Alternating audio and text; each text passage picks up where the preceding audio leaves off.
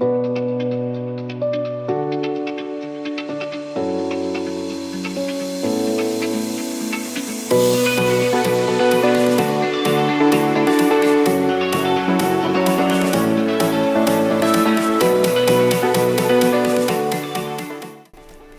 what's up, guys? As always, check out Bullwinkle's Pro Shop in Apple Valley Bowl in Plantsville, Connecticut. Today, we got Jason Ray throwing the Zen Soul Super good release so far. I mean, I've seen a ton of people throw this ball. It's been super popular.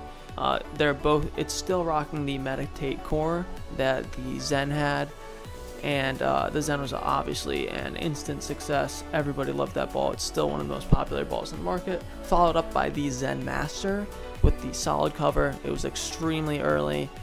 This one is in between. So Zen Soul has a hybrid cover. It seems from what Jason Ray has told me and from what I see on the lane, the Zen Soul is a lot closer to the Zen than is the Zen Master as far as length uh, response time and continuation, the Zen Soul seems to be a lot closer to the Zen. So the Zen was super continuous, uh, very clean, but still strong.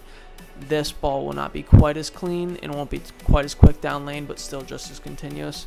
And from what I saw, a lot of the Zen Masters seem to just be uh, so forward rolling, so strong so early. Uh, it just wasn't so as true to the Zen.